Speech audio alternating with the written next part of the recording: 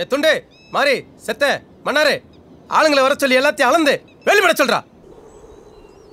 என்னண்ணே இவ்வளோ தூரம்? ஏதாவது முக்கியமான விஷயமாண்ணே. சொல்லுங்கண்ணே. அண்ணனையும் கூப்பிட்டு வந்திருக்கீங்க? சிவம் ரொம்ப முக்கியமான விஷயம்தான்ப்பா. அதான் நாங்கள் ரெண்டு பேர் கிளம்பி வந்திருக்கோம். என்ன ஏதுன்னு உன் கூட பேசலாம்னு.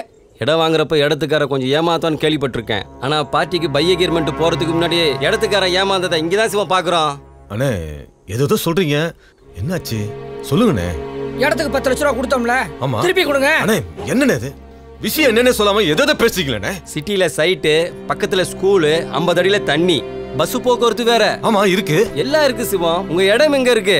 யாரோ எம்எல்ஏக்கு வேண்டப்பட்டவனா? யாரும் உள்ள போக கூடாதுன்னு சொல்லி வேலையை நட்டு கள்ள ஊனி அந்த இடம் எனக்கு தான் சொந்தம்னு போர்டை வச்சிருக்கான் இது என்னண்ணே? லாஸ்ட் வீக் கூட சர்வே வச்சு அளந்துருக்கண்ணே. கொஞ்சம் இருங்க. இங்க பாருங்க. இங்க பாருங்க அதெல்லாம் நீங்க எதுவுமே காட்ட வேணாம். நீங்க எங்களை ஏமாத்துறீங்க சொல்ல சிவம் ஏமாந்துட்டீங்க தான் சொல்றோம். எங்களுக்கு எதுக்கு இந்த பிரச்சனை? கொடுத்த பணத்தை திருப்பி கொடுங்க. வாங்கிட்டு போயிட்டே இருக்கோம்.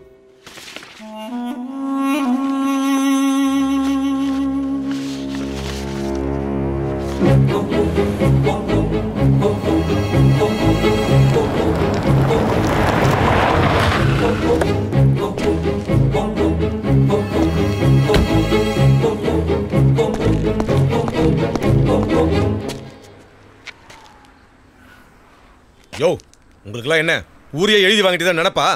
நாங்க வீட்டை வித்து கழனியை வித்து காட்டை வித்து என் பொண்டாட்டி புள்ளையோட நகையெல்லாம் அடமானம் வச்சு இடத்த வாங்கி பொழப்பு நடத்தினா நீங்க பாட்டுக்கு வெளியே போட்டு இடம் உங்களுக்கு போர்டு வைப்பீங்களா? நாங்க சென்னையில இருந்தா இங்க நீங்க தான் ராஜா நீங்க தான் மந்திரின்னு ஊருக்குள்ள தெரிஞ்சிட்டு இருப்பீங்களா? வச்ச போர்டு உங்களுதா இருக்கலாம். ஆனா வாங்கின இடம் என்னது? அதுல கல்ல போறதுக்கோ வேலியை போறதுக்கோ உங்களுக்கு என்ன ரெண்டு கொம்ப மலைச்சிருக்கு? இந்த இடத்தோட தாய் பத்திரம் முதல் கொண்டு எல்லா பத்திரமும் என் கையில தான் இருக்கு. தாய் பத்திரமும் தங்கச்சி பத்திரமும் எல்லாம் பத்திரமா சேர்ந்து நீயே பத்திரமா வச்சுக்க. புரியுதா? என்ன தலைவா அவன் பேசிக்கிட்டே இருக்கா? நீ பாத்துக்கிட்டே இருக்க. ஈஸி ஒண்ணா போட்டு பாருங்க. ஈஸி என்ன போடுறது? போட்டு பார்த்துட்டு தான் சொல்றோம். சுரேஷ் அண்ணா சொல்லுண்ணா. பேர் சிவமூர்த்தி. பழைய நம்பர் நாற்பத்தி மூணு புது நம்பர் ரெண்டு பஜனை கோயில் தெரு அயனாவரம் சென்னை இருபத்தி மூணு. அதானே? அந்த மாரியம்மன் கோயில் பக்கத்தில்.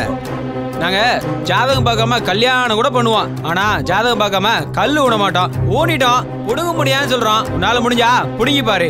எவ்வளவு பெரிய நாங்க பாக்குறோம் அவ்வளவுதானே?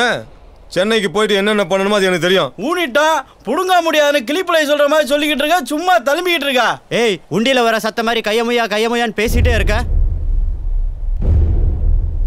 இந்த சிவமூர்த்தி யாருன்னு எல்லாருக்கும் காட்டுறேன். காட்டுறேன்.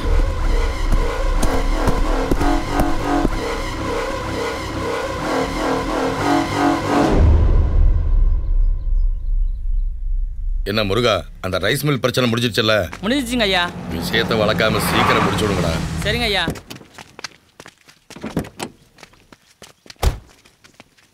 வா சரோஜினி. வணக்கம், தலைவரே. விசுவாசிகளா? எப்படி இருக்கீங்க? நல்லா இருக்கிறோம் தலைவரே. நானே உன்னை வர சொல்லலான்ட்டு தான் இருந்தேன். யாரோ ரியல் எஸ்டேட் பண்ற சிவமூர்த்தியாம அந்த இட பிரச்சனை விஷயமா ரொம்ப பிரச்சனை பண்றான் போல. அதெல்லாம் ஒண்ணும் இல்ல தலைவரே.